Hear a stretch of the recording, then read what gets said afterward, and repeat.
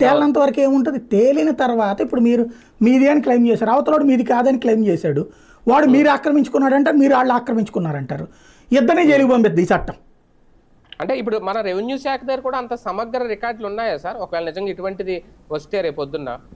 చెప్తోంది అదే కదా. రాజకీయ ప్రయోజనాలకు వాడుకోవడానికే పనికొద్ది చట్టం. అంతేనా? ఉమ్, అంతే తప్పించి నిజంగా అయితే కనుక రెవెన్యూ వాళ్ళకి ఆ సీన్ ఉంటే కనుక అసలు ఈ గొడవ ఎందుకు? అవును. ఈ చట్టాలు అవసరం శిక్షించే ఇప్పుడు మీరు నా ఇల్లు ఆక్రమించుకున్నా నేను కంప్లైంట్ పెట్టానండి.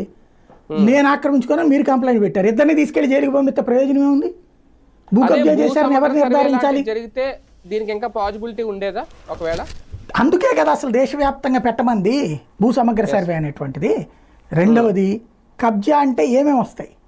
లైక్ ఇప్పుడు బీఫామ్ పట్టా ఉంటుంది. బీఫామ్ పట్టా అతను అతనే రాసి ఇచ్చేస్తాడు. చట్ట ప్రకారం అది కొనుక్కోకూడదు. ఇవాళ అసైన్ ల్యాండ్స్ ఎన్ని కొనుక్కుని ఉన్నారు నాయకులు. As per norms. అయితే అసైన్డ్ భూమి అమ్మినటువంటి వాడు కంప్లైంట్ పెడితే కొనుక్కున్నటువంటి వాడి మీద భూ కబ్జా కేసు కింద అరెస్ట్ చేసి జైల్లో పెట్టాలి. పెడతారా? అమ్మడం కూడా తప్పే కదా సార్ అది.